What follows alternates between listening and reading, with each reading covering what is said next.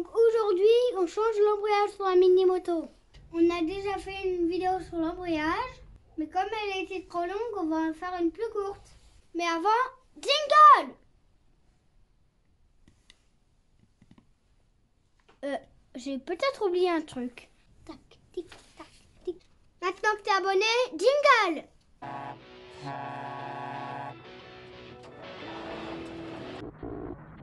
Salut Salut Je suis Armand je suis passionné de deux roues. Allez, suis mes aventures C'est parti Déjà, où il est l'embrayage sur ma moto? Se trouve ici.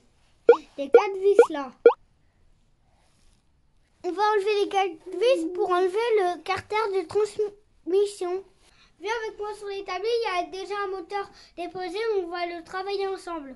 Une fois que vous avez enlevé les quatre vis, retirez le carter de transmission.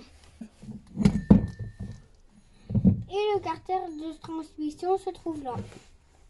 Et là, on a notre embrayage.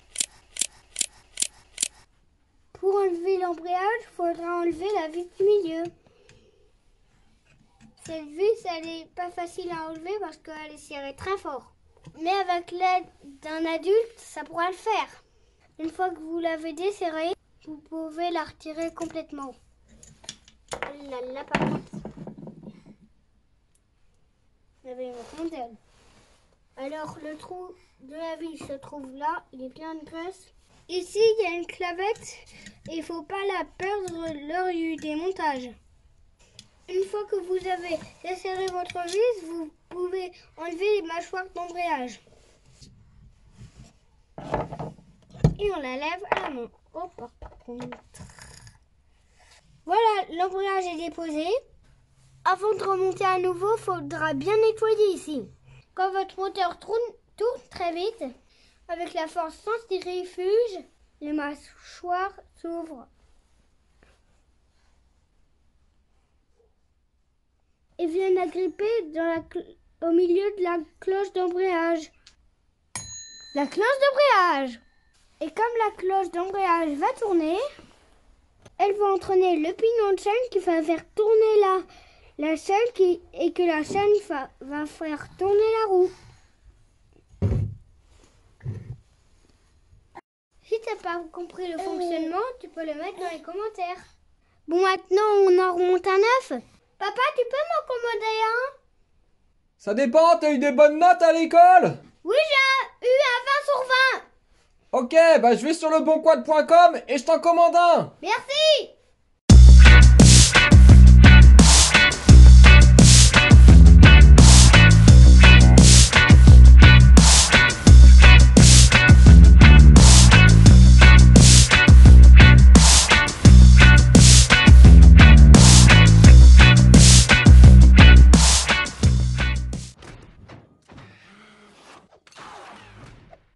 Merci les bons quads pour cette livraison rapide.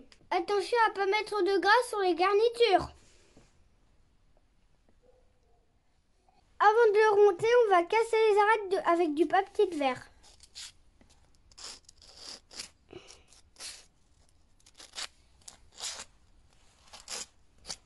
On monte sur le moteur et on fait attention de la clavette. On remet la vis avec un petit peu de frein filet. Oh, ah. Et on demande à un adulte de bien serrer. Vous pouvez ensuite mettre le carter de transmission.